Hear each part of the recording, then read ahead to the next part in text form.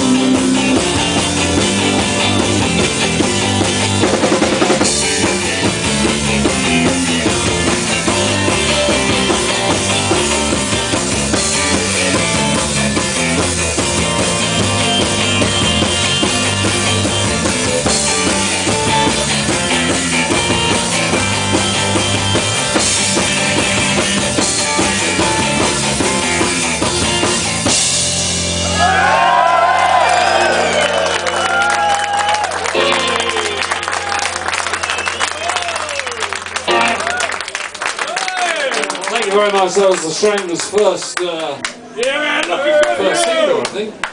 When they used to make records. Still do. Someone's talking.